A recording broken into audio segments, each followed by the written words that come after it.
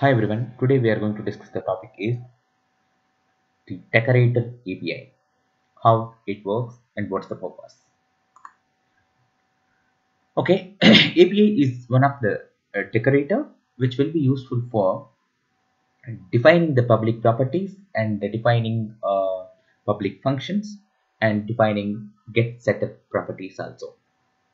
Okay, this is the main advantage of API and through this API de decorator you can pass the communication from parent to child and you can define public properties uh, for that. And you can uh, call the functions which is decorated with the API from parent to child again. Like that you can define public properties you can define public functions you can make uh, get set properties also. Okay? In our example in our uh, current session, we are going to see how can we pass a data from parent to child. In the previous video, we saw that how we can calculate two numbers and show the result. Now, what we are going to do, we are going to use the same calculator example, but instead of showing the result in the same component, we are going to use another component to the show result. Okay, let's see. So this is how it will be okay this is about result component where we are going to show. So if you see here i have html file. Okay that is a sum property. And i defined a property with api here api sum and configuration file you know that. Okay i just configured for lightning app page. Now let's go with practical session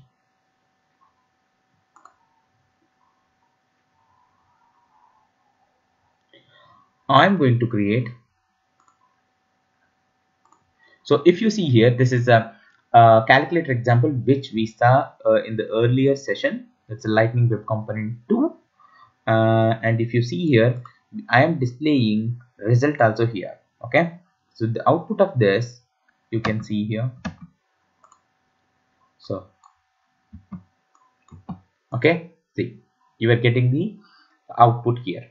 Okay this output i am considering the same component here. So here i'm considering same component. Here i am displaying. Now what i'm going to do i'm removing this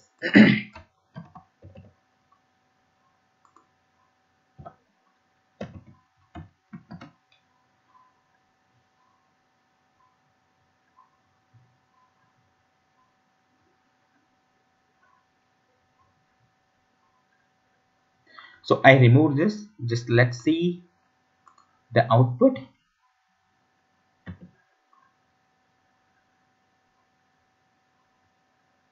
Here i'm trying to do passing the result to the child component. Okay? First of all let's create a component which can hold the result with the api decorator. Okay? Because as api property is going to define a public property you can pass the communication to the that particular component where you have public property from any other component. So let's create one component lightning web component. Here I am giving a result component and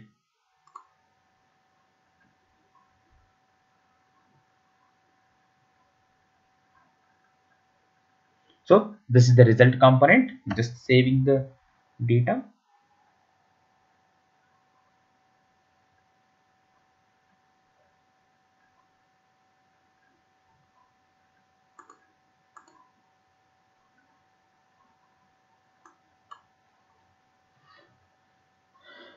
now result component. So first thing is let's define a property here. So that is api property this is the result. Okay? You can say this result is just a result. And whenever you want to use or define a property with a any deck with any decorator you have to import such kind of decorator here. Always. Okay? That's it. Now we define a property result with decorator API I'm going to use which is reactive again. Here I'm going to define result so just taking it here. Addition result static text anyway. Now here I'm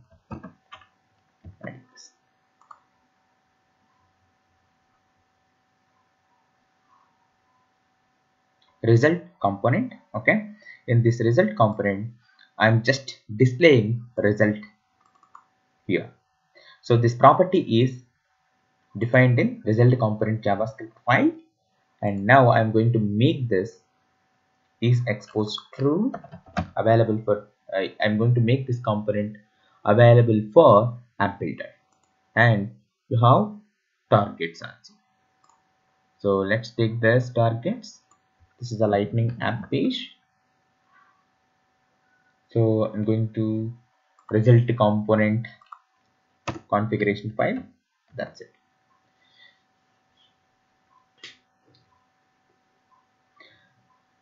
Till now i just created a lightning web component that is a result component. I just declared or defined API uh, an API property that is public property with the API decorator. And I'm using the same property on the HTML file on the result component. Now we are going to see how we can pass the data to this result component from calc test calculator component calc test component. Let's see. So if you see here result component. So it's a camel case. When you are going to use this in uh, whenever you are going to use this in a separate component in another component you have to use kebab case. How it will be? See just need to separate with the hyphen. So let's go to this one and here in the same place i'm using this. First thing is you have to add namespace okay? We don't have any namespace. Default namespace is c. Now result. See it is giving already. If you see here kebab case is having result hyphen component so you just need to separate this camel case to uh, small and you have to add hyphen between that. Result.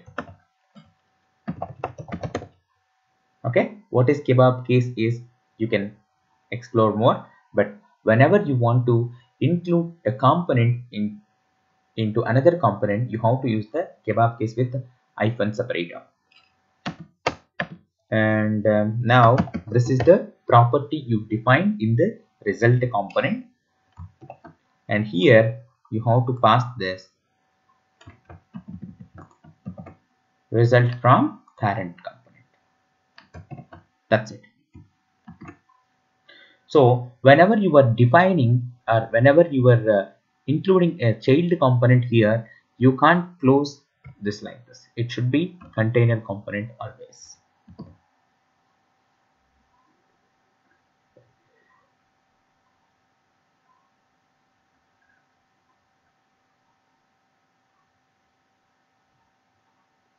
That's it. Let's see how it looks like now.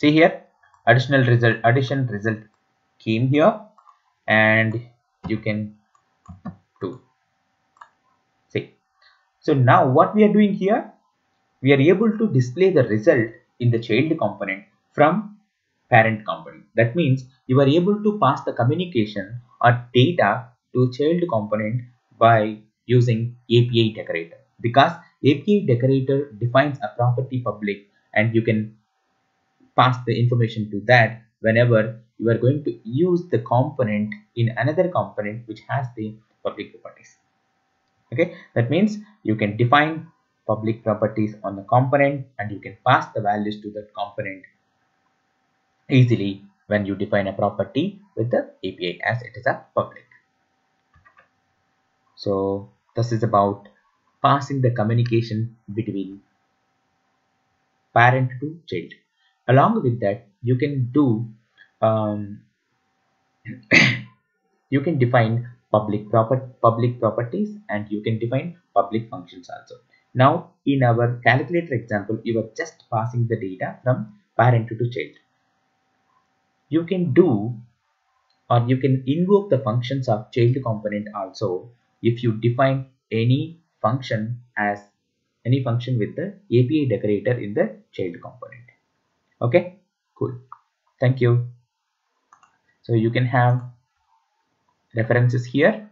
Please go through that. And we are going to include the same code in this blog also. Okay. So you can see the code in the in my blog and uh, you can practice it thank you